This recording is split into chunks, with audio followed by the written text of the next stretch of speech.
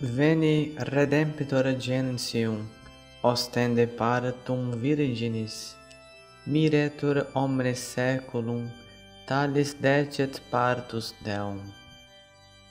Non ex virilis semine, sed mystico spiramine, verbum Dei factum caro, fructusque ventris floruit.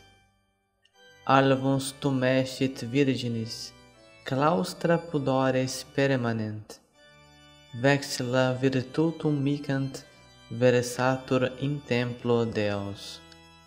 Procedens de talamo suo, pudores aula regia, gemene diga substantiae, alacris ut curat viam.